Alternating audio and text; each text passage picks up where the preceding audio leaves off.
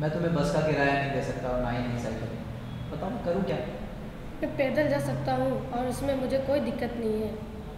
देखो सुजान मैंने तुम्हें इसलिए यहाँ रखा है ताकि लोग यहाँ आ सकें फ़िल्म देख सकें। सॉरी या तो तुम नई साइकिल ले आओ या फिर मैं किसी और को रख लूँगा इतने ही पैसों में। कोई प्रॉब्लम नहीं है मैं इसे ठीक कर सकता हूँ। प्लीज़ मुझे मुझे एक मौका दे दीजिए। ठीक है तुम्हारे पास शुक्रवार तक का टाइम है फ्राइडे ठीक है? फ्राइडे तक का टाइम है तुम्हारे पास। थैंक यू सर ठीक है जाओ। शुक्रिया। अपना नंबर इसमें लिख दें लो। हाँ। तुम अपना लिख के साइड में रख लो।